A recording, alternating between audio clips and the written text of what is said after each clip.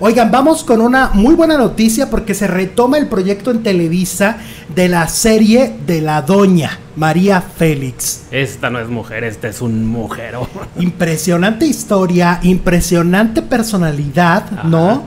Eh, una actriz muy famosa de la época de oro que además era este, pues realmente una, una persona que con sus frases, que con su personalidad hizo historia. Pues sí, resulta que en este momento les podemos confirmar, según lo que se sabe, que es el siguiente proyecto que hará eh, Carmen Armendaris, después de su fallida telenovela Te acuerdas de mí y de habernos echado la culpa a los medios de comunicación, porque nunca se hizo responsable del fracaso de su telenovela, pues ahora resulta que va a hacer la bioserie.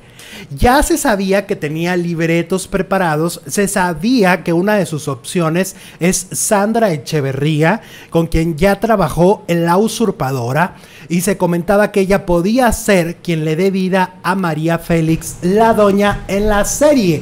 En lo personal, a mí me encantaría más una Susana González. Me gusta más como actriz.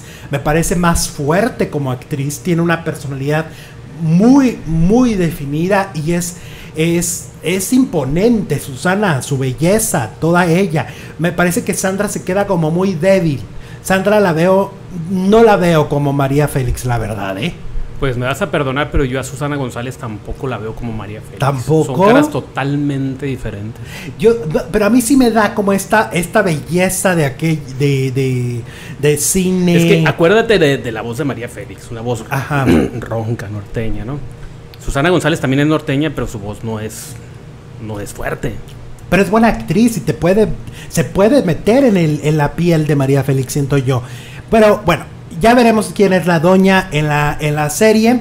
Pero ya se está retomando este proyecto. Se grabaría a finales de este año. Y estaría al aire en el 2022. Parece ser que las dos bioseries que se preparan en Televisa son la de Gloria Trevi y la de La Doña. Mira, dice Horacio Silva, ¿cómo le pueden dar, seguir dando eh, proyectos a Carmen Merendaris? Es pésima productora, historias grises, lentas y aburridas.